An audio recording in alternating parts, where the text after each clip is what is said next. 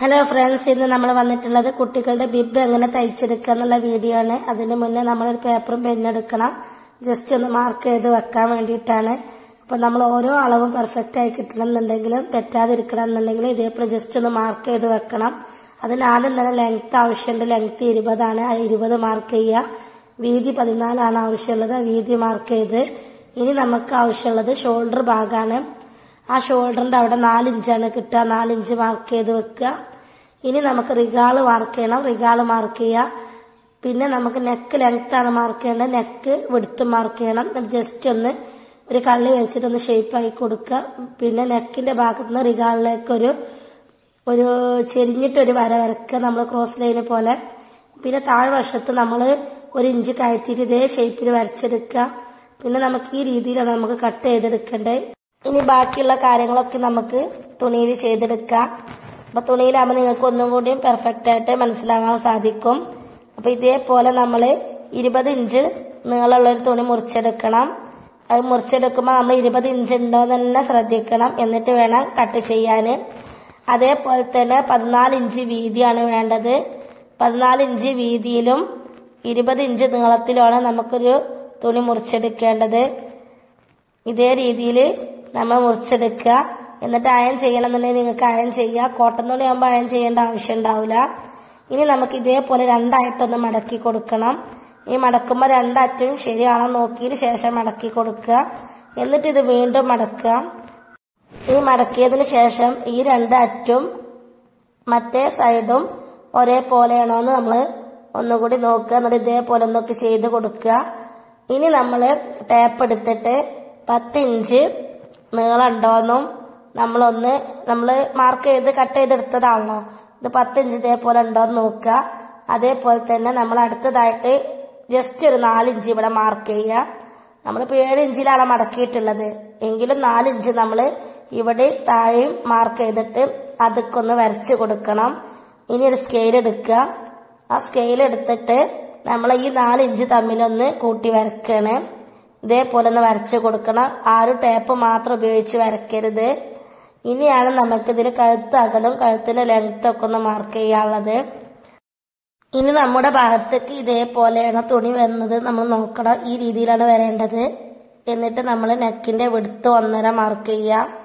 അതേപോലെ തന്നെ നെക്കിന്റെ ലെങ്ത്ത് രണ്ടേക്കാലും മാർക്ക് ചെയ്യുക. വിടുത്ത് ഒന്നര ലെങ്ത്ത് രണ്ടേക്കാലും മാർക്ക് ചെയ്തിട്ട് ജസ്റ്റ് ഒന്ന് വരച്ചെടുക്കുക.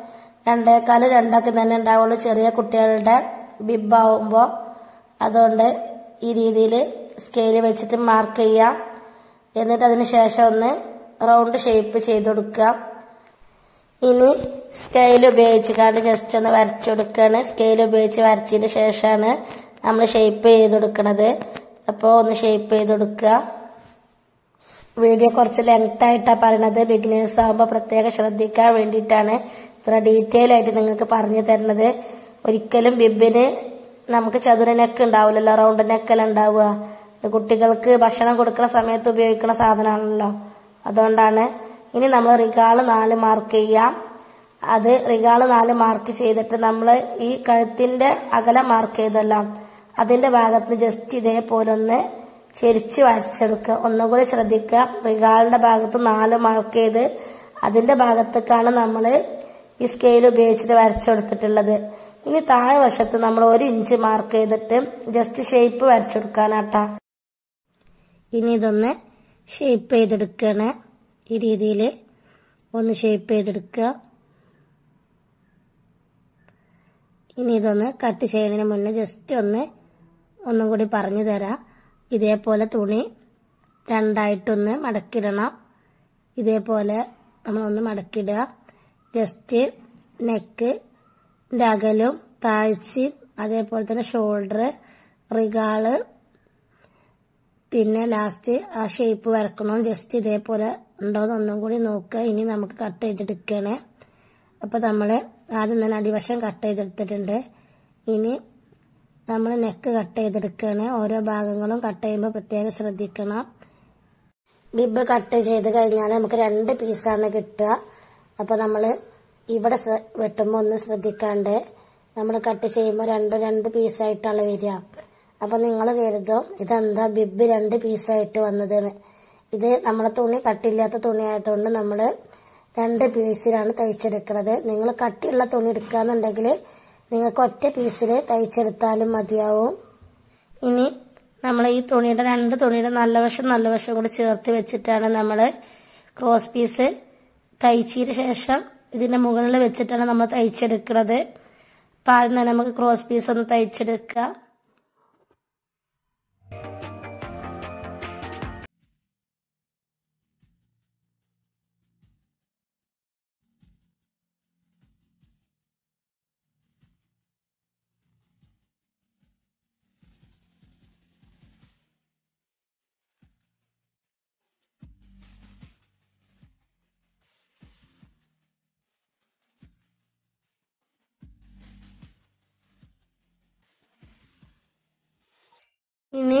നമ്മൾ ക്രോസ് പീസ് രണ്ടാക്കി മടക്കിയതിന് ശേഷം ചീത്ത വശത്ത് വെച്ചിട്ട് നമ്മൾ അടിച്ചെടുക്കുകയാണ്. ചീത്ത വശത്ത് നിന്ന് നല്ല വശത്തേക്കാണ് നമ്മൾ മറിച്ച് കൊടുക്കുക. അതുകൊണ്ട് നമ്മൾ ചീത്ത വശത്ത് വെച്ച് തയ്ച്ചെടുക്കുകയാണ്. വീഡിയോ ഇഷ്ടപ്പെട്ടാൽ ലൈക്ക് ചെയ്യാനും ഷെയർ ചെയ്യാനും കമന്റ് ചെയ്യാനും സബ്സ്ക്രൈബ് ചെയ്യാനൊന്നും മറക്കരുത്. തൊട്ടടുത്ത് കാണുന്ന ബെല്ലൈക്കണും കൂടി ക്ലിക്ക് ചെയ്താലുള്ളൂ ഞാനിടുന്ന വീഡിയോസിന്റെ മുഴുവൻ നോട്ടിഫിക്കേഷൻ നിങ്ങൾക്ക് ലഭിക്കുക. അപ്പോൾ ഇനി നമ്മൾ ഇത് തയ്ച്ചെടുക്കുക. തയ്ച്ചെടുക്കുമ്പോൾ രണ്ട് ലെയറും ഒരുമിച്ച് ഒപ്പം നമ്മളെ കയ്യിൽ കിട്ടുന്നുണ്ടോയെന്ന് നോക്കിയിട്ട് വേണം ഓരോ ഭാഗങ്ങളും തയ്ച്ചെടുക്കാൻ ഇതേപോലെ സൂചിയുടെ മോനെ അങ്ങനെ കുത്തി നിർത്തിയിട്ട് നമ്മൾ താഴ്വശം നോക്കണം. അതേപോലെ പൈപ്പിംഗ് രണ്ടാക്കി മടക്കും വേണം. അപ്പം അതിന്റെ താഴെയുള്ളത് ഒരുമിച്ചുണ്ടോയെന്ന് നോക്കിയിട്ട് വേണം മെല്ലെ മെല്ലെ തയ്ക്കാൻ പാടുള്ളൂ. അല്ലാന്നുണ്ടെങ്കിൽ അതിന്റെ ഉള്ളത്തെ ഒരു ലെയർ താഴെ പോവാൻ ചാൻസ് ഉണ്ട്. അതുകൊണ്ട് നമ്മൾ ശ്രദ്ധിച്ചിട്ട് വേണം തയ്ക്കാൻ ഇനി നമ്മൾ ഇതിന്റെ അറ്റം വരെ ഒന്ന് ഇതേപോലെ തയ്ച്ചെടുക്കുക. എന്നിട്ട് നമ്മൾ ബാക്കി വരുന്ന ക്രോസ് പീസ് കട്ട് ചെയ്തെടുക്കുക. ഇനി നമുക്ക് ചെയ്യാനുള്ള എന്താ വെച്ചാൽ ഇവിടെ നിന്ന് കട്ട് ഇട്ടുകൊടുക്കണം ഇതേപോലെ ഇത് എന്തിനാ ചോദിച്ചാൽ നമ്മളെ നെക്ക് ഫിനിഷിംഗ് ആയി കിട്ടാൻ വേണ്ടിയിട്ടാണ് ഇതേപോലെ കട്ട് ചെയ്ത് കൊടുക്കുന്നത് അല്ലാതെ അടിച്ചാൽ ചുരുണ്ട് പോവാനുള്ള ചാൻസ് ഉണ്ട്. അപ്പം നമ്മൾ ആ നൂലുമ തട്ടാത്ത രീതിയിൽ വേണം നമ്മൾ തൈ കട്ടിട്ട് കൊടുക്കാൻ ഇനി നമ്മൾ ഇത് ഇതേപോലെ വെക്കുക. ഈ വരുന്ന ഭാഗത്തിന്റെ ഉള്ളിലോട്ടാക്കിയിട്ട് ഈ കാപ്പി വരുന്ന ഭാഗം ഉണ്ടല്ലോ നമ്മളെ തുണിയുടെ ഭാഗം ക്രോസ് പീസ് വെച്ച് തയ്ക്കരുത്. തുണി വരുന്ന ഭാഗത്ത് നമ്മൾ അതിന്റെ മുകളിൽ ജസ്റ്റ് ഒന്നൊരു മേലടി അടിച്ചു കൊടുക്കുകയാണ് അപ്പൊ നമ്മളെ പൈപ്പിങ് നമ്മളെ ക്രോസ് പീസ് ഉണ്ടല്ലോ പൈപ്പിംഗ് അല്ല ക്രോസ് പീസ് നല്ല ഫിനിഷിംഗ് ആയി കിട്ടും. അതിന് വേണ്ടിയിട്ടാണ് നമ്മൾ ഇതേപോലെ തയ്ച്ചു കൊടുക്കുന്നത് ഇങ്ങനെ തയ്ച്ച് കൊടുക്കാതെ നമുക്ക് ഡയറക്റ്റ് ആയിട്ട് അടിക്കാം. പക്ഷെ ബിഗിനേഴ്സിനൊക്കെ ഇത് ചെയ്യൽ നിർബന്ധമാണ് അവർ അല്ലാന്നുണ്ടെന്നുണ്ടെങ്കിൽ നമ്മൾ ഈ ക്രോസ് പീസ് മടക്കുമ്പോൾ ഇതിന്റെ ഉള്ളത്തെ ബ്ലാക്ക് തുണി പുറത്തേക്ക് കാണാനുള്ള ചാൻസ് ഉണ്ട്. അപ്പം നമ്മൾ ഇതേപോലെ ഇനി ഇത് നിവർത്തി വെച്ചിട്ട് നമ്മളെ ക്രോസ് പീസിനെ വെച്ചിട്ട് ഇതേപോലെ ഒന്ന് തയ്ച്ചു കൊടുക്കുക. തയ്ച്ചതിന് ശേഷം നല്ല രീതിയിൽ ഒന്ന് അയൺ ആ ചുളിവ് ചെറിയ ചുളിവ് എന്തെങ്കിലും ഉണ്ടെങ്കിൽ അത് തന്നെ മാറി കിട്ടും നമ്മൾ ഇതേപോലെ ഒന്ന് തയ്ച്ച് കൊടുക്കുകയാണ്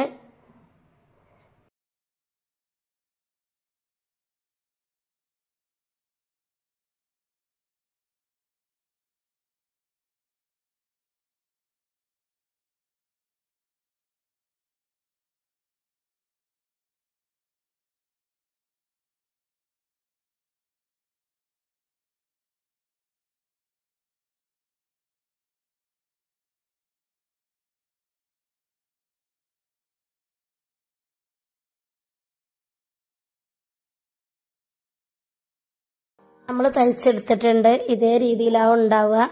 ഇനി നമ്മൾ ഒരു കുറച്ചധികം ഒരു ആറ് ഇഞ്ച് തുണി നമ്മളൊന്ന് മാർക്ക് ചെയ്തെടുക്കണം. അടുത്തതായിട്ട് ക്രോസ് പീസിൽ ഇത് നമുക്ക് കുറച്ച് നെക്കിന്റെ ഭാഗത്ത് ഒന്ന് കയറ്റിടാനുള്ളതാണ്. അപ്പോൾ നിങ്ങൾ വീഡിയോ ശ്രദ്ധിക്കുക. ഞാൻ ചെയ്യുന്നതിന്റെ കൂടെ തന്നെ എങ്കിലും നിങ്ങൾക്ക് മനസ്സിലാവുള്ളൂ. ഇതേപോലെ ഒന്ന് കയറ്റിയിട്ടിട്ട് ഈ ഭാഗത്തു നിന്ന് വേണം തയ്ച്ചു തുടങ്ങാൻ നമ്മളെ മുകളിൽ നിന്ന് തയ്ച്ചു തുടങ്ങരുത്. ഈ ഭാഗത്തു നിന്ന് തയ്ച്ചു തുടങ്ങുക. മുകൾക്ക് നമ്മൾ ആറ് ഇഞ്ച് ഇട്ടത് എന്തിനാണെന്നറിയോ? നമുക്ക് ബാക്കിൽ കുട്ടികൾക്ക് ഭക്ഷണം കൊടുക്കുമ്പോൾ കയറ് കെട്ടി നമ്മൾ കഴുത്തിന്റെ ഇതിൽ കൂടി കെട്ടി കൊടുക്കൂല? അതിനുള്ള വള്ളിയാണ് അത് ഇനി നമ്മൾ ഓരോ ഭാഗങ്ങളും ഇങ്ങനെ തയ്ച്ച് കൊടുക്കുമ്പോൾ എന്ത് ചെയ്യണം? അവിടൊക്കെ സൂചിയുടെ മോനെ ഇതേപോലെ കുത്തി നിർത്തുക. എന്നിട്ട് നമ്മൾ തിരിച്ചു കൊടുക്കുക. അതിനുശേഷം വേണം നമ്മൾ തയ്ച്ചെടുക്കാൻ തയ്ച്ചെടുക്കുമ്പോൾ അടിയിലുള്ള രണ്ട് പീസ് ഒരുമിച്ചിട്ട് തന്നെ വേണം തയ്ക്കാനും. ഒറ്റ പീസാകുമ്പോൾ നമുക്ക് ആ പ്രശ്നം വരൂല. തുണി കുറച്ച് കട്ടുള്ള തുണി എടുത്തിട്ട് ഒറ്റ പീസിൽ അടിക്കണമെങ്കിൽ നമുക്ക് അത് വിഷയങ്ങൾ വരൂല. ഇതിങ്ങനെ ചെയ്യുമ്പോൾ നമ്മൾ പ്രത്യേകം ശ്രദ്ധിക്കാണ്ട് നമ്മൾ മൂന്ന് തുണി ഒരുമിച്ച് കിട്ടുന്നുണ്ടോ നോക്കണം. എന്നിട്ട് ഇതേപോലെ എല്ലാ ഭാഗങ്ങളും തയ്ച്ചെടുത്തിട്ടുണ്ട്. ഇനി നമുക്ക് എല്ലാ ഭാഗങ്ങളും ഇതേപോലെ ഒന്ന് കട്ട് ചെയ്ത് കൊടുക്കുകയാണ് എങ്കിലേ നമുക്ക് പെർഫെക്റ്റ് ആയിട്ട് കിട്ടുള്ളൂ. ഇതേപോലെ നമ്മൾ കട്ട് ചെയ്ത് കൊടുക്കുക.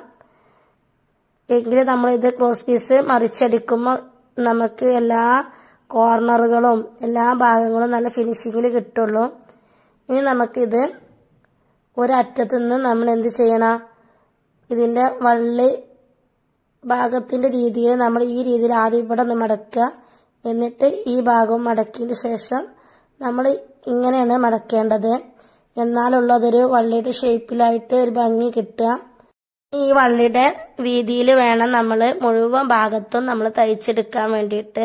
അപ്പം അത് പ്രത്യേകം ശ്രദ്ധിക്കണം. നമ്മൾ മടക്കി കൊടുക്കുമ്പോൾ ആ വീതി കണ്ടിട്ട് വേണം നമ്മൾ ഉള്ളിലോട്ടാക്കിയിട്ട് മടക്കാൻ ഓരോ ഭാഗങ്ങളും നമ്മൾ മടക്കി കൊടുക്കുമ്പോൾ നമ്മൾ സൂചി ഇങ്ങനെ മുന കുത്തി നിർത്തിയിട്ട് മെല്ലെ മെല്ലെ തയ്ച്ചാൽ മതി. അപ്പോൾ ഒരിക്കലും ഫ്ലോപ്പ് ആവൂല. ഇതേപോലെ ജസ്റ്റ് ഇങ്ങനെ മടക്കി കൊടുക്കുക എന്നിട്ട് വീണ്ടും നമ്മൾ തയ്ക്കുക തയ്ച്ചിട്ട് ഒരറ്റെത്തുമ്പോൾ നമ്മൾ വീണ്ടും കുത്തി കൊടുക്കുക അങ്ങനെ ഓരോ ഭാഗങ്ങളും നമ്മൾ ഇതേ രീതിയിൽ തയ്ച്ചെടുക്കുക. അപ്പോൾ നമ്മളത് നല്ല ഫിനിഷിംഗ് ആയിട്ട് കിട്ടും.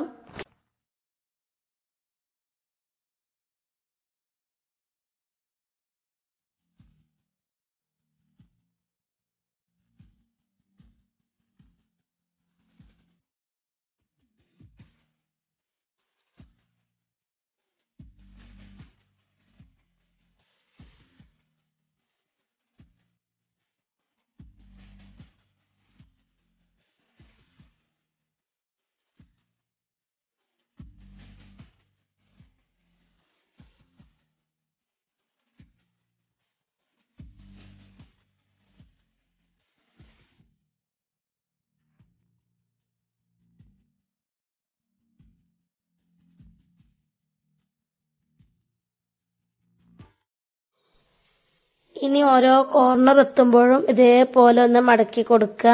മടക്കിയ ശേഷം നമ്മൾ എല്ലാ ഭാഗത്തും ഒരേപോലത്തെ വീതിയാണോ വരുന്നത് ഇതേപോലെ നോക്കണം. എങ്കിലേ എങ്കിലുള്ളൂ നമുക്കത് ഭംഗിയായിട്ട് കിട്ടുക. എന്നിട്ട് നമ്മൾ തയ്ച്ചതിന് ശേഷം ഒന്ന് നല്ലതുപോലെ ഒന്ന് ഇസ്തിരിട്ട് കൊടുക്കുക. അപ്പോൾ നമ്മൾ അടിച്ചതിന് ഒരു ബുദ്ധിമുട്ടും വരില്ല നല്ല ഭംഗിയിൽ കിട്ടും. ഇനി നമ്മൾ ഈ വള്ളിയുടെ ഭാഗത്തും കൂടി തയ്ച്ചു കഴിഞ്ഞാൽ നമ്മളെ ബിബ് റെഡി ആയിട്ടുണ്ട്. ഇനി നിങ്ങൾക്ക് വൺ ലെയറിലോ ടു ലെയറിലൊക്കെ വേണമെന്നുണ്ടെങ്കിൽ തയ്ച്ചെടുക്കുക. അതൊക്കെ നിങ്ങളെ ഇഷ്ടമാണ് ഓരോരുത്തർക്കും ഓരോ രീതിയാണ്. അതൊക്കെ നമ്മളെ തുണിക്കനുസരിച്ച് നമുക്ക് തയ്ക്കാം. പിന്നെ നിങ്ങളെ വീട്ടിൽ ചെറിയ കുട്ടികളുണ്ടെങ്കിൽ വളരെ ഉപകാരപ്പെടും. ഇനി അതുമല്ല എന്നുണ്ടെങ്കിൽ നമ്മൾ മറ്റുള്ളവർക്ക് തയ്ച്ച് കൊടുക്കണമെന്നുണ്ടെങ്കിൽ ബിബൊന്നും ഒരുവിധം ആർക്കും തയ്ക്കാൻ അറിയില്ല അപ്പം അങ്ങനെ തയ്ച്ച് കൊടുക്കണമെന്നുണ്ടെങ്കിൽ നമുക്ക് അങ്ങനെ ഒരു വരുമാനം കിട്ടാനും ചാൻസ് ഉണ്ട്. അപ്പം നമ്മളത് തയ്ച്ചെടുത്തിട്ടുണ്ട്. Thank you for watching